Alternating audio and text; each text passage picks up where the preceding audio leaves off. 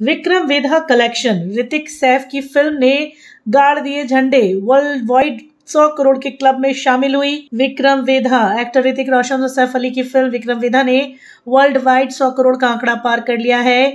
कितना कलेक्शन किया है, बताते हैं आपको। जी हाँ सैफ अली और ऋतिक रोशन की फ़िल्म नौ दिन पहले रिलीज़ हुई। अब इन्होंने एक पड़ाव पार कर लिया है। सौ करोड़ के आंकड़े में आ गई है ये फ़िल्म। नौ दिनों में पैंसठ करोड़ की कमाई कर ली है। वर्ल्ड वाइड कनेक्शन की बात करें तो 103 करोड़ का कलेक्शन हो चुका है विक्रम वेधा का।